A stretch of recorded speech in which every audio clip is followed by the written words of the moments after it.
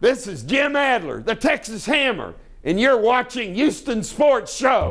Now it's time for this week's Texas Hammer. And this one was pretty easy. On Saturday, the Naismith Memorial Basketball Hall of Fame announced its 2020 class, and former Rockets great Rudy Tomjanovich finally gets the honor he so deserved. And who can forget Rudy T dropping the greatest quote in Houston sports history? This is how a Texas Hammer does it.